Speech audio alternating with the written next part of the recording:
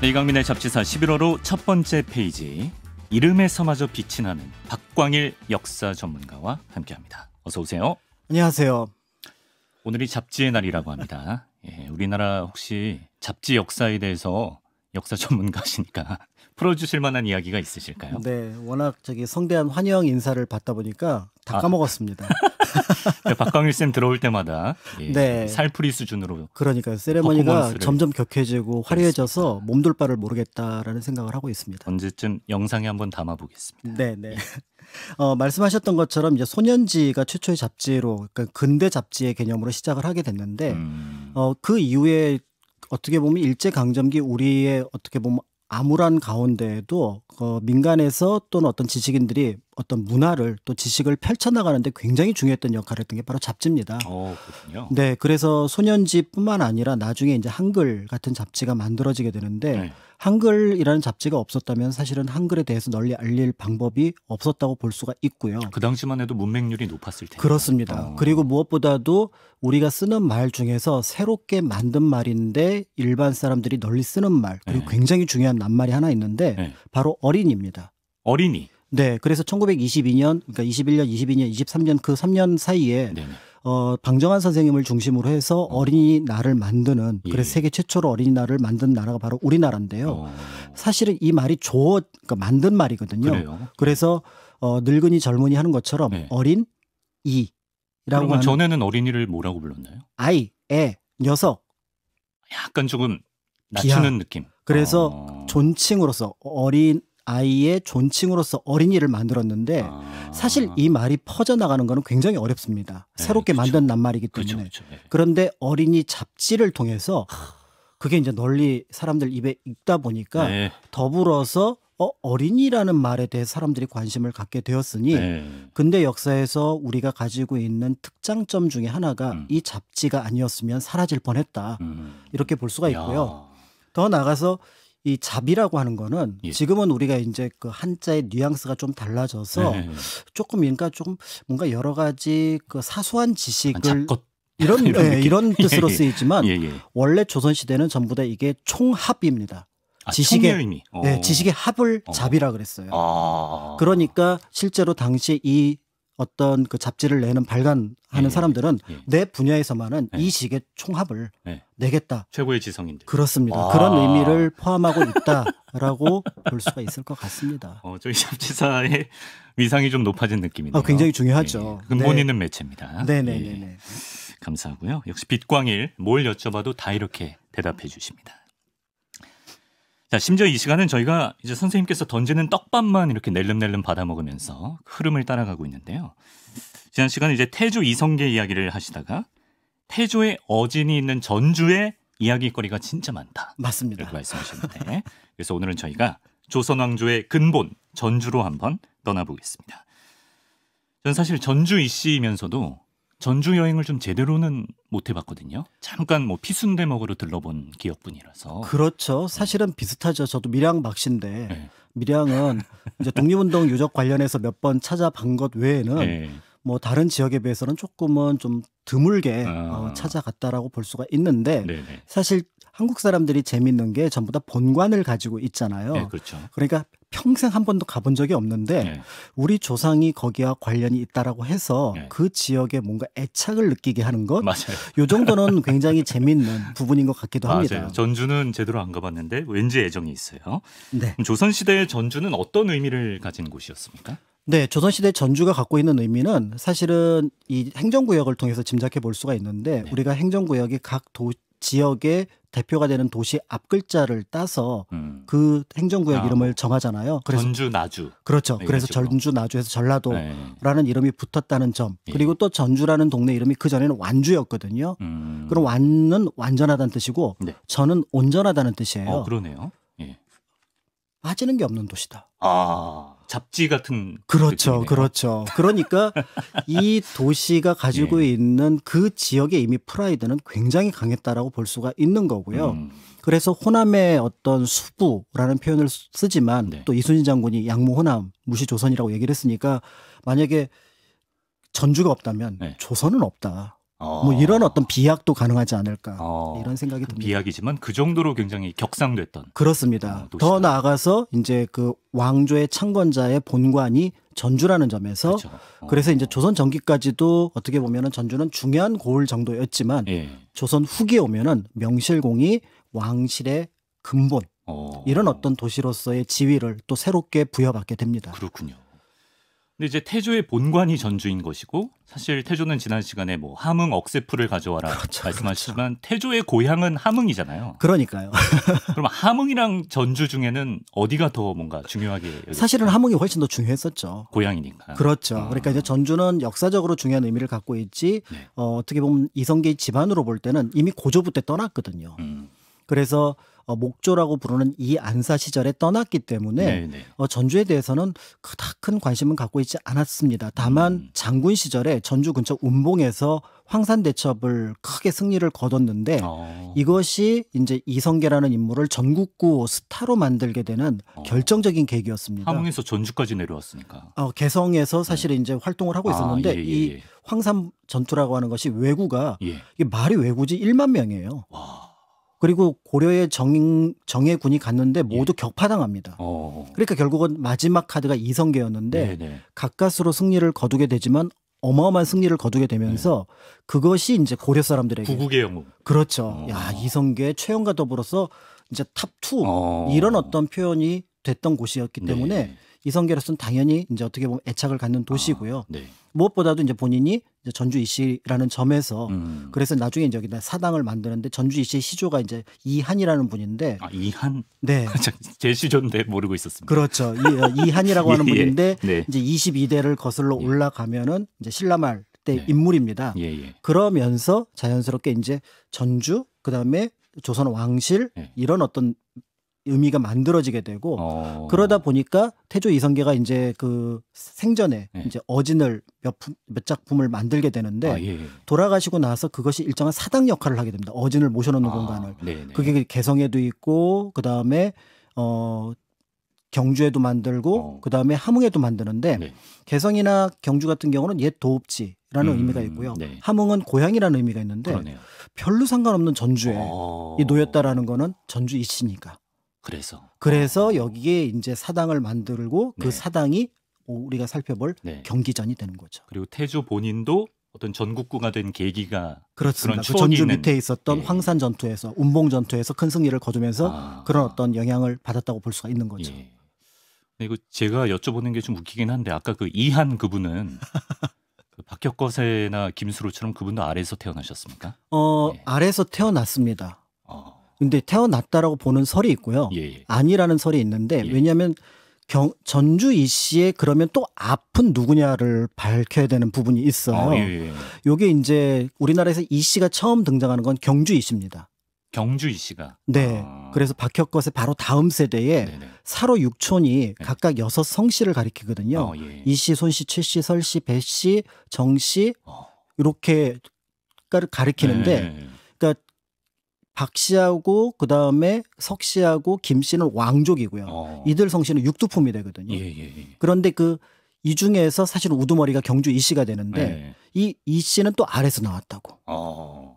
주장을 하고 있, 있고요. 그게 이한 아니 그분은 아, 또, 또, 네, 또, 또 다른, 다른 분. 아. 그래서 그게 이제 경주에 가면은 예. 그 경주 이씨 시조가 나온 곳이 네. 또 따로 있습니다. 음. 그래서 거기에서 파생됐다 그러면은 음. 전주 이 씨도 음. 아래서 나온 것이 되는데 네, 네.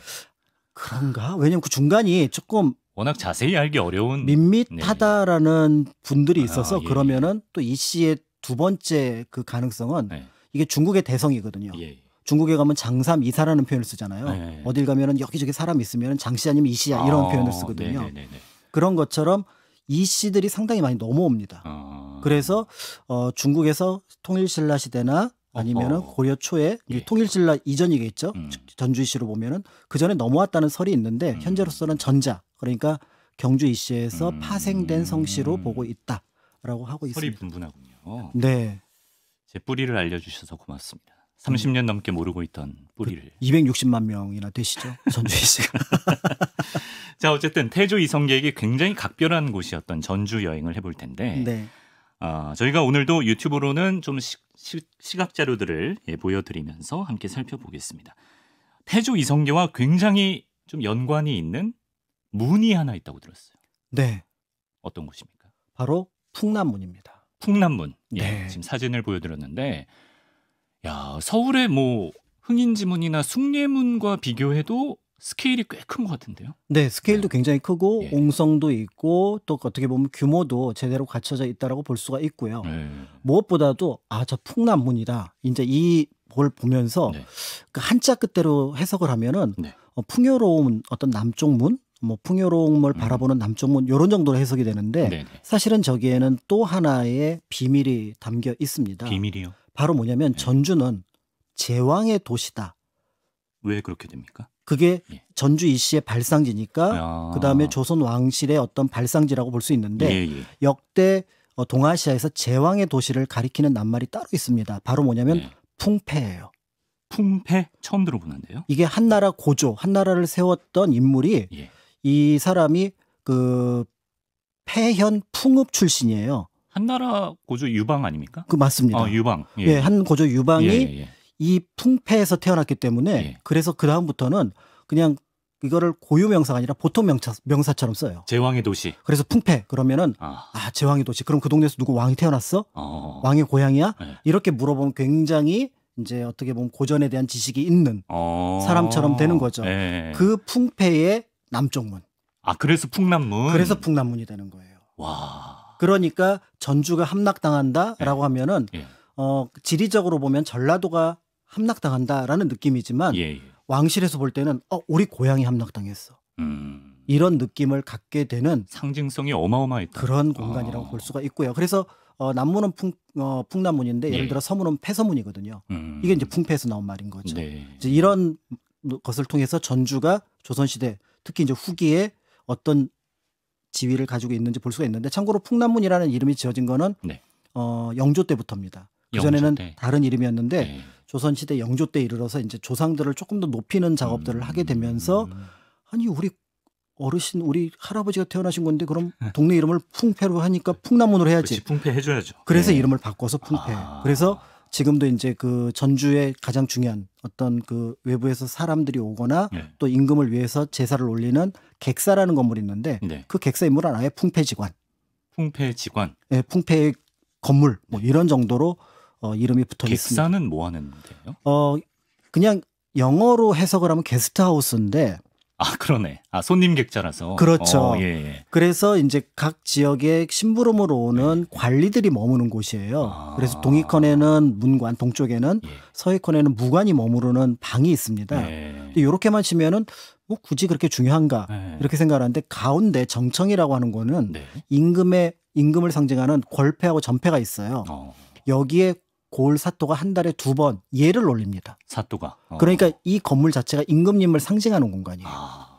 그러니까 어느 지역을 가든 가장 큰 건물, 거창한 건물은 객사가 되고요. 어, 어, 동원보다 규모가 큽니다. 예. 그래서 동원 보통 북쪽에 놓여 있는데 네. 지금 동원 건물들은 최근에 복원을 하고 있고요. 예. 관하 건물들은 복원을 하고 있는데 객사 건물은 이전부터 남아 있어서 어. 그래서 예전에도 답사를 가셨을 때는 네. 전주에 가면은 어, 거기 옛 건물이 있다는데 풍패지간 한번 가볼까 어. 하고 가셨던 것들은 아마 그런 기억 속에 남아 있을 겁니다. 네.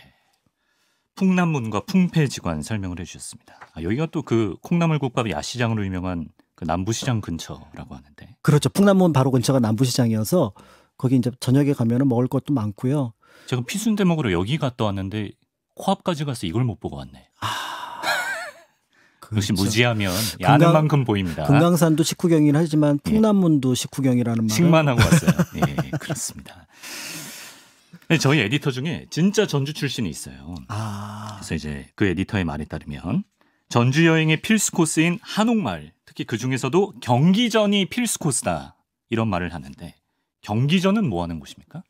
경기전이 이제 앞에서 잠깐 말씀드렸던 네. 태조 이성계의 어진을 모신 사당. 아, 어진을 모신 사당. 네. 유튜브로 지금 사진을 보여드렸는데 경기전의 입구로 보이네요. 그렇습니다. 예. 네, 그래서 어 적어도 전주 한옥마을을 갔다 왔다 그러면은 경기전 앞에서 사진을 안 찍을 수가 없어요. 음. 왜냐면 경치가 제일 예쁘거든요. 음. 그리고 제가 이제 저 경기전을 볼 때마다 경기전은 비교적 지금 문화재 공간이긴 하지만 자유롭게 활용이 되거든요. 네, 네. 어지간한 역사 드라마 영화엔 다 나옵니다. 아 그래요?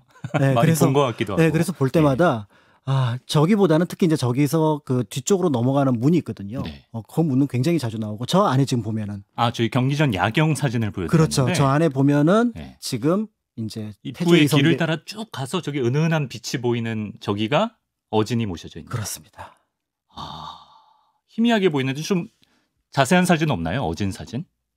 어 어진 사진. 태조 이성계 어진을 보여드렸는데 어 저- 제가 용의 눈물에서 봤던 그 고 김무생 배우와는 좀 느낌이 다른데요. 근데 김영철 배우하고는 좀 닮은 느낌이 들고요. 김영철 배우와는 네, 무엇보다도 저 집안이 이제 무인 집안이었기 때문에 네. 그런 어떤 무인의 어떤 당당함, 어깨가 굉장히 넓으시죠. 네, 이런 것들이 느껴지고요. 네. 그 다음에 가까이서 보면은 눈매의 어떤 초롱초롱함, 음. 총명함 이런 것들이 굉장히 인상적입니다. 네. 그런데 정말 중요한 거는 예. 저게 남아 있는 게 기적이에요. 기적이다. 왜? 왜냐하면 조선 27명 왕 중에 네. 어, 우리가 사진까지 남아 있는 고종, 순종의 어진을 제외하면은 실제로 어진이 나와 있는 게 세명의 왕밖에 없습니다. 27분 중에 3분만 남았어요. 그렇죠. 그 중에 이제 그 고종, 순종은 사진까지 있으니까 아, 예. 어진이 있긴 하지만 예. 조금은 희소성이 떨어진다고 본다 어, 그러면 네네네. 사진이 없던 시절에 어진은 20 그러니까 다섯 분 임금님 중에 네. 세 명밖에 없는 거예요. 역사 속에서 뭐 어진이 많이 소실됐다 이 정도 얘기는 들어봤는데 뭐 어떤 과정에서 없어진 거예요? 일단은 예. 임진왜란 전에 그 이전에 있었던 왕들의 어진이 다 불에 타고요. 아이고. 그나마 태조 이성계의 어진은 네. 전국의 여러 군데다가 분산을 했기 때문에 아까 뭐 경주, 함흥을 말씀하셨죠. 그렇죠. 경주, 함흥, 그다음에 네. 전주, 네. 그다음에 서울 뭐 이런 곳에 개성 이런 곳에 뒀기 때문에 네. 그래도 한 점이 남아 있었고요. 어. 그리고 저 한 점도 대한제국 시절에 네. 너무 낡아서 예. 옛 모습이 제대로 보기가 어려운 거예요. 어. 그래서 다시 화공들을 불러다가 똑같이 모사하도록 했는데 네. 그래서 그 덕분에 우리가 임진왜란 전이면서 네. 또한 나라를 건국한 분의 얼굴을 네. 어떤 다른 모사가 아닌 네. 실제 얼굴로 볼 수 있다는 점에서 네. 굉장히 중요한 의미를 갖고요. 다른 두 분은 이제 임진왜란 이후의 분인데 예. 어그 영조 임금하고 철종 임금입니다. 어. 그런데 이분들의 어진은 사실은 1954년까지 잘 남아 있었어요. 어, 예.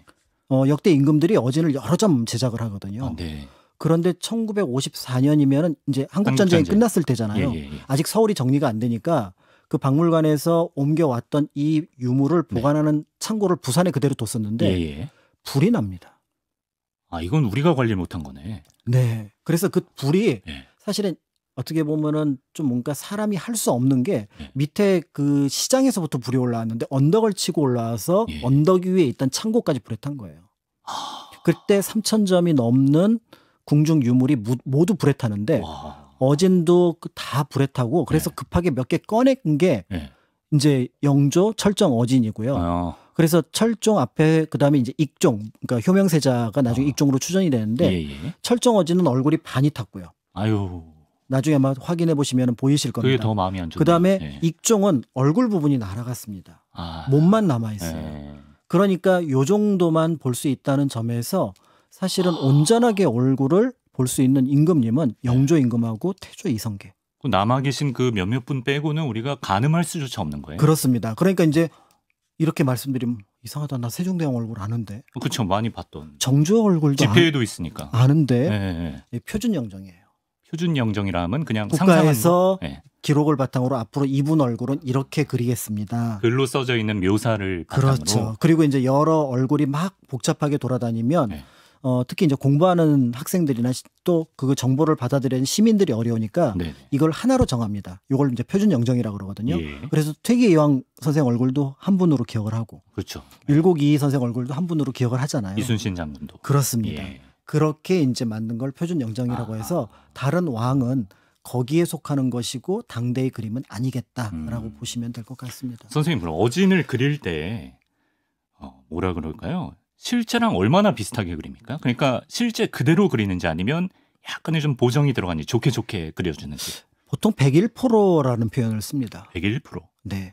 이제 보통 99% 닮았다, 100% 닮았다 이런 네. 표현을 쓰는데 네. 101%는 뭐냐면 초상화를 그릴 때 당시 화원들이 네. 어, 지향해야 될 거는 그분의 성격까지 드러나야 된다고 봤던 거예요. 아 그림의 성격이. 네. 어. 그래서 비록 정지한 화면이고 나를 바라보는 응시한 보통 이렇게 왼쪽을 살짝 보는 요 장면을 많이 찍거든요. 예. 예. 그런데 그 안에 눈빛이라든지 이런 것들이 그분의 성격이 드러나지 않으면 제대로 된 초상화가 아니다. 어. 그런 면에서 굉장히 어떻게 보면 있는 그대로의 네, 모습을 그렸다라고 볼 수가 있고요. 예. 잘생기면 잘생긴 대로, 네. 못생기면 못생긴 대로 어. 그렇게 그렸습니다. 그래서 어 임금의 어진을 그리는 사람들을 화원 중에서 특히 화사라는 표현을 쓰는데요. 화사. 어진 화사라는 네.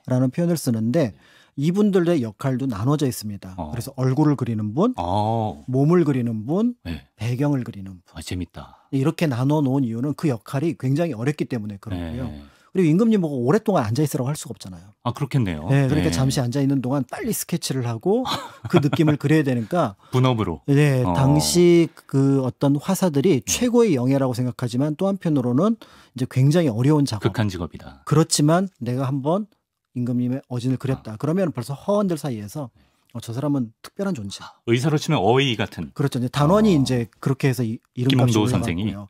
다만 이제 단원 같은 경우는 예. 얼굴을 그리진 않고 몸을 그리시긴 했는데 아. 그럼에도 아 탁월하다 아. 이런 평가를 받습니다. 또 용안과 저 몸이 또 다른 분들이 각각 그린 거구나. 네. 예. 신기하네요.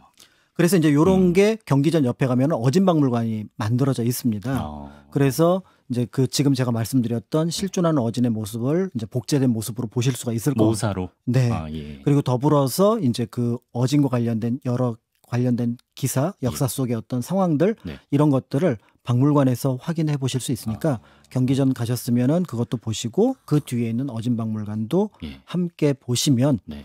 어, 역사 공부하는데 조금 더 도움이 어, 되실 겁니다. 예. 자꾸 이렇게 질문해서 죄송한데 왕의 뭐 건버섯이나 기미 같은 것도 그대로 그립니까? 그대로 그려야죠. 그래서 이제 영조 같은 경우 매끄러우시던데 저기 아까 태주 이성계는 아 분장을 하지 않아요. 그랬을 수 있네요. 예, 어, 예. 조선에 어, 왕실에서 이제 그 예. 화장 기법이 있었거든요. 어. 어, 그런데 이제 메이크업을 좀 하시고 메이크업을 좀 하셨기 예. 때문에 그런 것들이 있지 않을까라고 보여지는데 영조 같은 경우는 10년에 한 번씩 음. 그리자고 했어요. 아 그래요. 네, 그래서 나의 어떤 10년 동안 계속 변화한 모습들을 또 어진을 통해서 보고 싶다 음. 이런 표현을 하기도 했었고요. 그러다 보니까 영조 어진은 한 분 것이 남아 있지만 예. 두 개가 남아 있습니다. 아, 그래서 그 연인군 시절 예. 그러니까 왕이 되기 전의 모습과 그다음에 왕이 되고 난 다음의 모습 이 두 점이 남아 있어서 네. 이제 맞아요. 봤었어요. 체격 되게 좋으시죠? 아니요 조금 아니 이, 이순재 할아버지랑 비슷하신 영조 영조 대왕님. 예, 아, 그래서 영조 할아버지, 다른 분이었나 영조 대왕은. 굉장히 예, 이순재 예. 할아버지 역할 많이 하시니까 예. 근데 거의 그 모습을 염두에 두고 예. 이제 그 배우분의 어떤 뭔가 이렇게 분장을 하시니까 아. 그 느낌이 비슷한 것 같아요. 아. 그럼 그 낡은 태조 이성계 그 원래 오리지널 어진은 그건 없습니다. 아 없어졌어요. 네네네. 아, 너무 낡아서. 네네. 예. 자, 알겠습니다. 어진의 세계까지 우리가 좀 엿봤고요.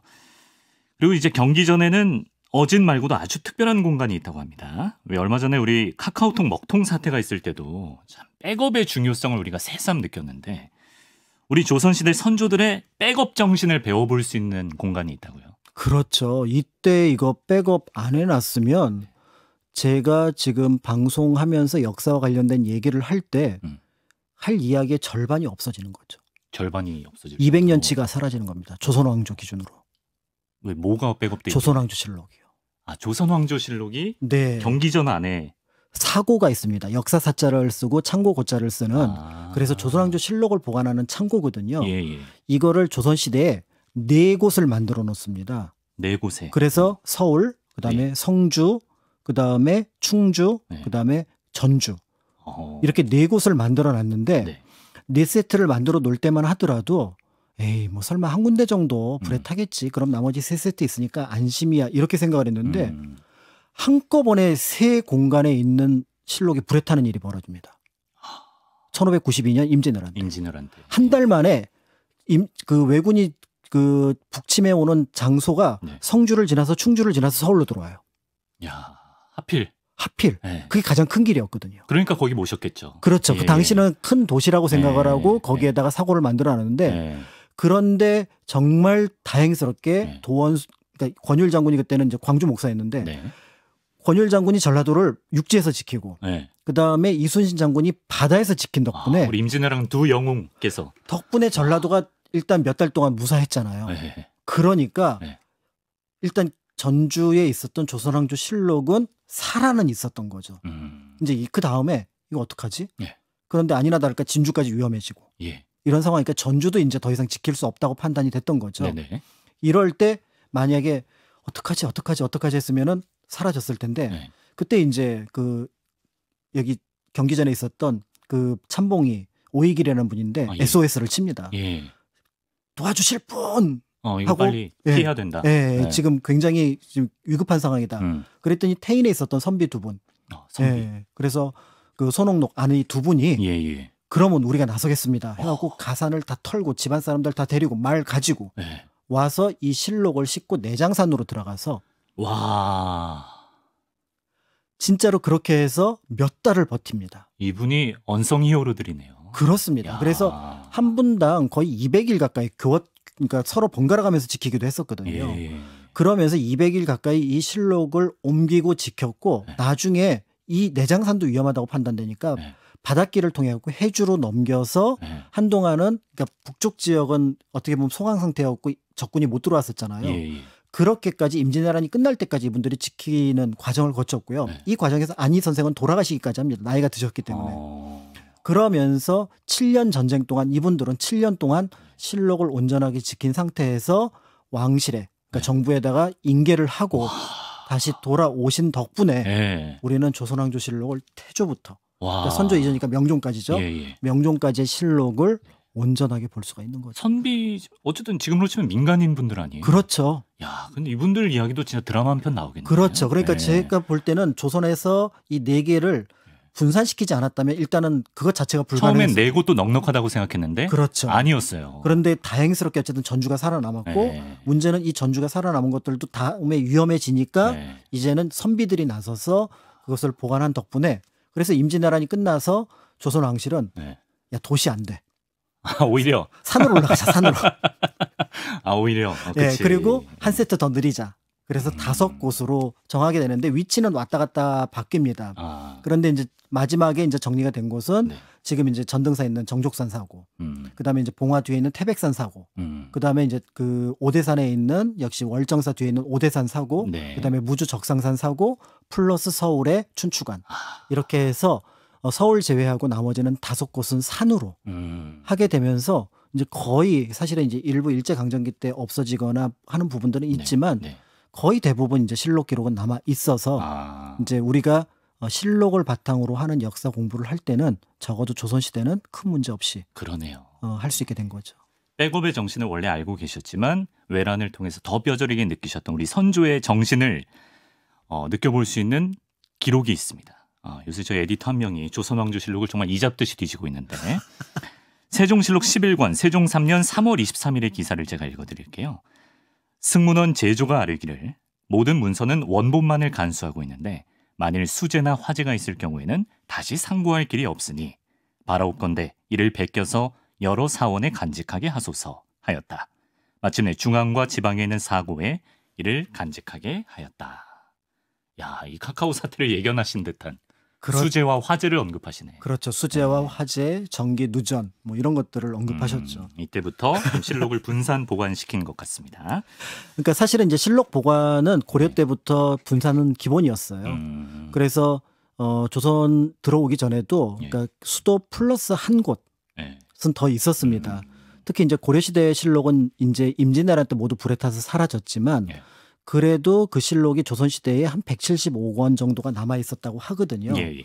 그게 그렇게 된 배경이 개경은 계속 불에 탔었는데 음, 그 실록이 어디 있었냐면 해인사에 있었어요. 해인사에 그러니까 해인사에다가 이제 고려 실록을 보관을 했었거든요. 팔만대장경이 어디 있죠? 해인사에. 있잖아요. 해인사에 있잖아요. 그래서 네. 나중에 조선 시대에 네. 이 팔만 대장경이 보물이라는데 네. 이거 어떡하죠? 어떡하죠? 그러면 네. 고려 때 실록 보관했던 데가 해인사잖아. 네. 그래서 그걸로 옮겨. 아, 뭐라고 해서 그렇구나. 그 역사 기록과 관련해서 기억 덕분에 예. 팔만 대장경도 해인사로 간 거고요. 어. 그런데 이제 이 두 곳이었던 것을 예. 이 세종 때 이 기사를 통해서 네. 네 곳으로 아. 정규적으로 앞에 말씀드렸던 성주, 전주, 그 다음에 충주까지 네. 완전하게 확충하는 제도를 만든 거는 이 이제 상소가 올라오고 나섭니다. 음, 그렇군요. 경기전 안에 있는 전주 사구까지 살펴봤습니다. 어, 마치기 전에요. 그 왜 그 태종 이방원 그 카리스마 있는 분이 뭐 사냥 갔다 말에서 떨어져서 그게 좀 창피했는지 그거를 역사에 실지 말아라 했더니 뭐 사관이 그마저도 실어버렸다. 그렇죠. 이런 일화를 제가 들은 적이 있는데 일화가 아니라 실록이 아예 기록이 되어 있어요. 실제군요. 네, 어. 실록에 그게 기록이 되어 있어갖고 네. 그래서 어, 조선왕조실록은 사실은 후대 왕들은 그 인, 그러니까 검색해서 음. 자료를 볼 수는 있지만 전체 책을 볼 수는 없습니다. 음, 그런 면에서 객관성을 당대 기준의 객관성을 네. 유지하는 데는 굉장히 어떻게 보면 가치가 본인이 제위했을 때 자신의 이야기는 못 읽어요? 본인이 제위했을 때는 아직 실록이 없고요. 자기 죽은 아 다음에 죽은 다 돌아가신 후에 그렇죠. 근데 이제. 아버지 때 네. 기사를 보려고 하더라도 예. 전체 기사를 못 봅니다. 어. 아버지 때 기사 중에서 정치 기사를 좀 봤으면 좋겠어. 네. 그러면 이제 그거를 이제 춘추관 그 관리들이 가서 이렇게 베껴옵니다. 네. 이거 그러면 어떤 거 원본 볼 수 없나 그럼 아. 왜냐하면 후대 왕이라고 하더라도 자기 아버지 일이잖아요. 예. 그래서 못 보게 했고 그러면서 그 나름의 객관성 물렀지만 그렇지만 당대의 이제 그 어떤 그 객관성에서 또 한계는 분명히 있죠. 그럼에도 이제 그런 것들은 이제 역사 전공자들이 했다는 예. 찾아내면 예. 되니까 그러면서 굉장히 가치가 높은 책으로 알려져 있어요. 선생님 이렇게 왕의 입김까지 차단하려고 노력을 하고 또 실록도 네 군데에 분산 보관할 정도로 이렇게 공을 들였다면 조선 시대에 있어서 실록이 가지는 의미는 뭐라고 보십니까? 그러니까 조선왕조의 역사를 어떻게 보면은 그 시간을 어떻게 보면 거기에 모두 담은 거라고 볼 수가 있습니다. 음. 그래서 520년 조선왕조 역사를 보시려면 네. 어, 조선왕조 실록을 어, 이제 살펴보시면 좋은데요. 최근에 이제 그 지금 우리 에디터 분께서도 아마 원문으로 보셨을 수도 있겠지만 아마 번역문으로도 보셨을 텐데 예, 예. 궁금한 내용 이렇게 기사나 이런 거 나올 때 음. 한번 검색해 보시면은 네. 되게 재밌습니다. 어. 그리고 이걸 보시는 순간 아 이분들 수준이 네. 높구나.